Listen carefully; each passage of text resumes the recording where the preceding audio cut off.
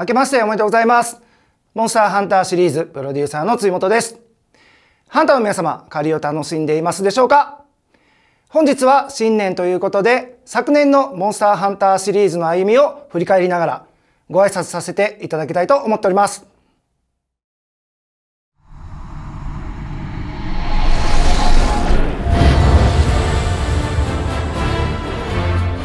まずは昨年末モンスターハンターワイルズを発表させていただき世界中から多くの反響をいただいております。モンスターハンターファンの皆様どうもありがとうございます。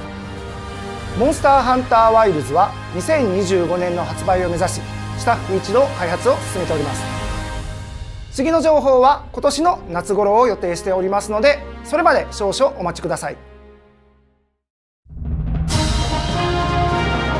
モンスターハンターシリーズは今年の3月に20周年を迎えます。20周年を記念した企画の一つとして歴代229体のモンスターから皆様の投票で1位を決めるモンスター総選挙を去年末に開催いたしました。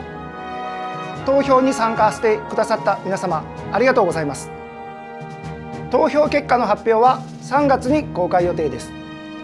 1位から3位に輝いたモンスターたちのスペシャルイラストを3月の公開に向けて鋭意制作中です。1位に輝くのはどのモンスターなのか。今から発表がとても楽しみです。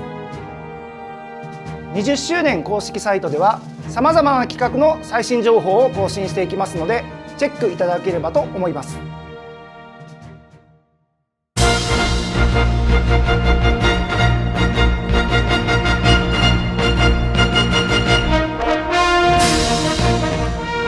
2023年モンスターハンターワールドは2300万本以上。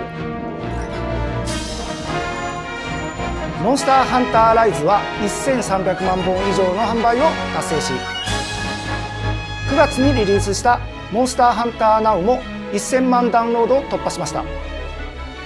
シリーズを通じてとても多くの皆様に遊んでいただいております。本当にありがとうございます。まだ遊んでない方もぜひ手に取ってプレイしていただければと思っています。今年もモンスターハンターシリーズの展開にご期待ください。それではまたお会いしましょう。